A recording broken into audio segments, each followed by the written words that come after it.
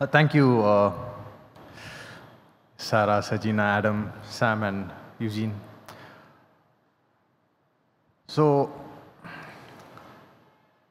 first and foremost, I want to thank the pastor and the LCC uh, members for giving me this opportunity uh, to share God's word.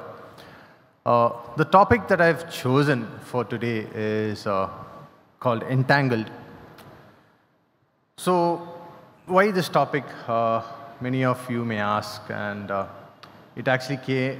And when I was thinking about what topic to discuss, uh, a few weeks back, uh, when I was talking to one of our Sunday school uh, kids, uh, the volunteer who was helping out also said that he also had uh, such questions. And a lot of youth members will also have a lot of questions, especially when it comes to uh, various aspects of life. So, uh, thought I will uh, quickly touch upon a few things and on what we get entangled into and uh, how what the Bible says on how we can get out of it. So, next slide. Yeah. So, as you can see, uh, by definition, uh, entangle is nothing but to involve in a perplexing or troublesome situation. And uh, when will we get into that situation?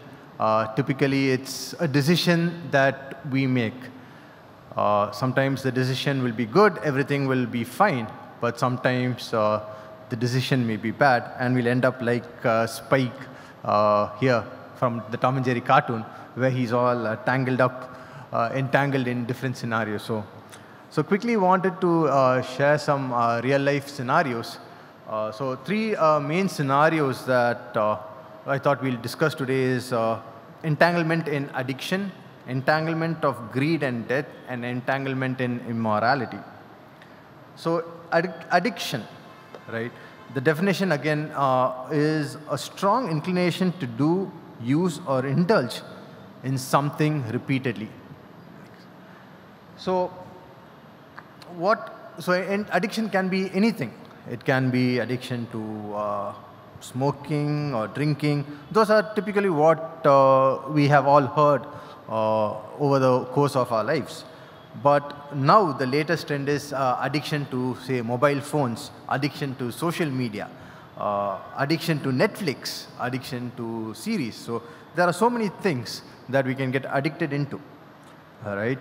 But the main thing here is given in 1 John 2:16, uh, which says, "For everything in the world, the lust of the flesh, the lust of the eyes, and the pride of life comes not from the Father, but from the world." And if I look at it uh, from the ESV version, it says, "The desires of the flesh, desires of the eyes, and pride in possession comes from the world and not from God." God has given us the freedom to choose. Uh, he has given us the right to choose. He will not get. He will not involve you uh, making a decision for you. The choice is ours to make. And in uh, 1 Corinthians 6:12, uh, if you turn your Bibles, you can see where Paul says, "I have the right to do anything you say, but not everything is beneficial." I have the right to do anything, but I will not be mastered by anything. So, what Paul is trying to say over here is you will have the right to do anything. So, the choice is yours. But don't, but again, when you get into an addiction, it will become the master of you, right? And you'll have to somehow try to come out of it, or you'll try hard to come out of it, but it keeps dragging you back. So, how do you come out of it? How do you come out of an addiction? The addiction that is uh, plaguing your life. It can be any scenario, like we said, right? James 4 7 clearly says, Submit yourselves then to God, resist the devil, therefore, resist the devil, and he will flee from you. All right? So, while we submit and resist the devil, the devil is also strong. So, where do we get the strength from? It's there in Philippians 4:13 which says I can do all things to Christ who strengthens me. So God will give you the strength when you submit and any of these addictions anything will be uh, taken away when you submit to the Lord. Moving on is uh, the entanglement of debt. So, over the course of my uh, shortened life or the life which I had so far, I've seen various scenarios, especially at work, where uh, I get calls or help from my friends requesting for some money on, and uh, sometimes, and even during the course of the day, right, we'll get at least one or two phone calls uh, saying that, uh, sir, uh, உங்களுக்கு personal loan வேணுமா interest free personal loan இருக்கு so the whole world is designed in such a way that they want you to spend more than what you can afford. And that sometimes will, that greed sometimes will get you into debt.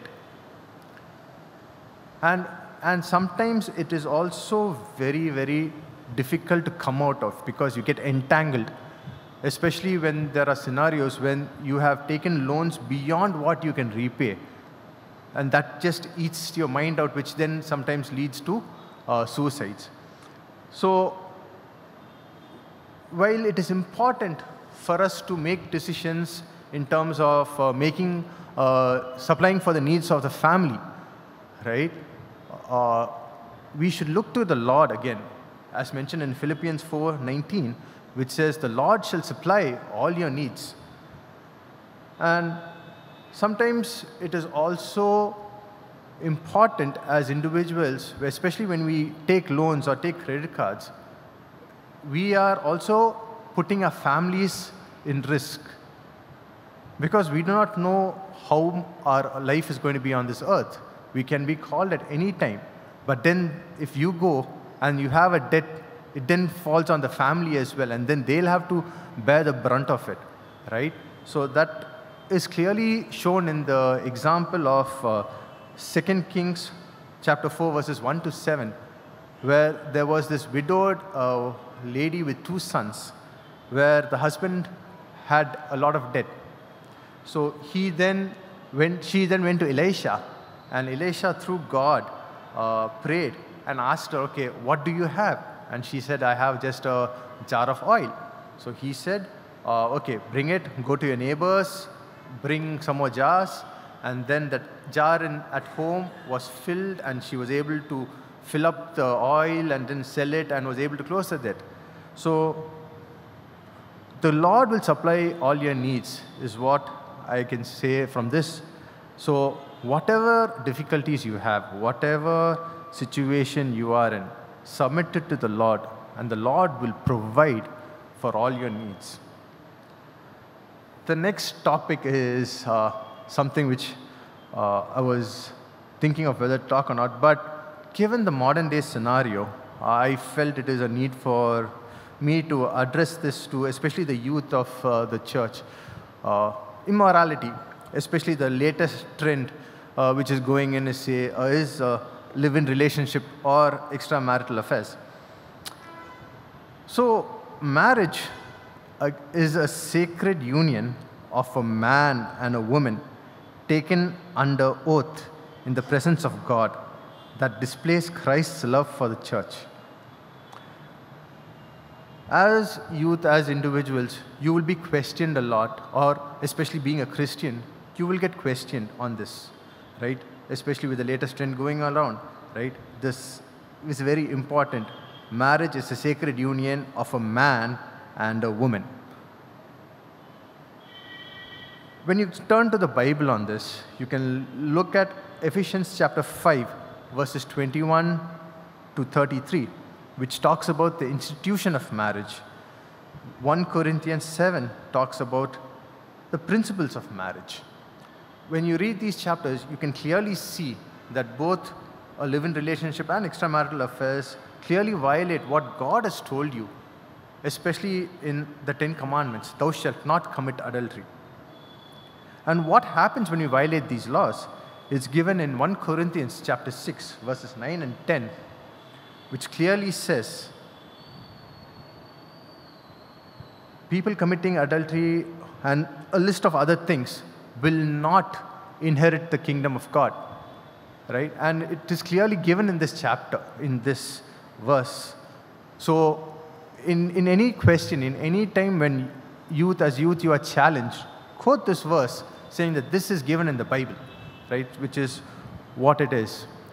So, this is what the Lord was telling me to share on these things. But let's look at some biblical examples on some of these entanglements that people have faced. Uh, I will talk about three uh, characters in the Bible. The first one is Jacob. Jacob, as all of you know, is given in Genesis chapter 27 and 29. So Jacob was a deceiver. He deceived his brother Esau, and the decision he took made him run from Esau, and he kept running and running. But God, but then also what he did, he also got back when Laban deceived him.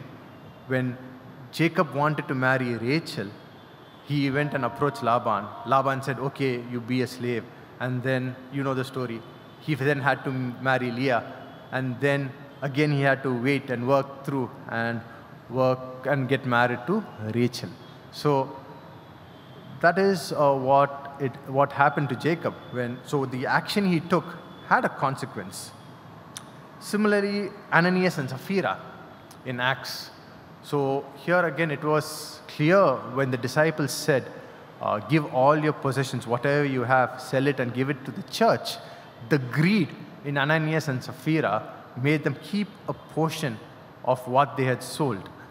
And uh, Peter, through the Holy Spirit, when questioned, uh, and Ananias and Sapphira, when they answered that they had kept and they lied, they immediately perished. So uh, that is what happens when uh, this, again, they had to face a consequence for their actions. The last character that I will talk about is uh, uh, David and Bathsheba. All of you know David was a man after God's own heart. Probably the one of the biggest blemishes or biggest thing that he did was when he went into a relationship with uh, Bathsheba. And then, in order to make it right, he sent Bathsheba's uh, husband to war and got him killed. And then got Bathsheba as his wife. But again, if you look closely, what he did was displeasing to God. God forgave David, but killed that child which was of that relationship. So, in all these three examples, you can see that the action, the decision that you took will have a consequence, but it will also be that when we ask the Lord for forgiveness, He will forgive you as well. So, in conclusion, I wanted to uh, show you a quick uh, thing on how we can get out of these entanglements. The first one is this word called guidance. And this is something I uh, read on the internet way back in uh, 2004, and it struck me. So if you split the word, G, U, I, and dance, it is God, you, and I dance. So what this is, so when there is dancing, right, you can't have uh, two people just dance in random. You will, they will be all distorted, you will not have a synchronous flow. But when one person takes the lead and the other person follows, there will be a beautiful synchronization of the steps. Similarly, when we ask God for guidance and we ask God to lead you, uh, previous slide, when you ask God to lead you, uh, you will be in sync with Him and you will have a smooth and transition step, smooth steps as you go along. And the next one is an air traffic control tower. So as a pilot, uh, if you observed and if you have gone on an aeroplane, uh, you would know that there are no roads for the pilots to see or they can't see incoming traffic or anything of that sort. They are always dependent on the control tower where uh, they need to ask for each and every step whether there's an aircraft and whether they should increase the altitude, decrease the altitude, or if the runway is clear. They're dependent on the word of the traffic uh, on the control tower and they trust anything that the control tower says. Similarly, imagine God to be the control tower of our lives, and we are flying the aeroplane of life. Each and everything that God says, we have to just blindly trust and proceed. So, how does this tie to our entanglement uh, scenario? When you look at Hebrews chapter 4, verses 15 and 16, which was read to us, it says, For we do not have a high priest who is unable to sympathize with our weakness, but one who in every respect has been tempted as we are, yet without sin. Let us then, with confidence, draw near to the throne of grace, that we may receive mercy and find grace to help in time of need. Jesus has seen it all. Jesus was in this earth as a human. He has faced every sort of temptation that can possibly come, but yet he was there without sin. So, similarly, we can go to God, Jesus, for guidance for any of the entanglements that we have. Whatever it is that is displeasing in the eyes of God. Ask God, Jesus, for His guidance, and the Holy Spirit, along with, will guide you so that we will be doing things that are pleasing in the sight of God. Shall we pray? Father, we come before you, O Lord, hearing your word on how we can avoid these entanglements, O Lord, in our lives. We pray, O Lord, that you will guide us in every single step that we take. May you, O Lord, be the source. May we do everything that is pleasing in your sight so that we'll be able to inherit your kingdom. We ask this all in the matchless name of our Lord and Savior Jesus Christ. Amen.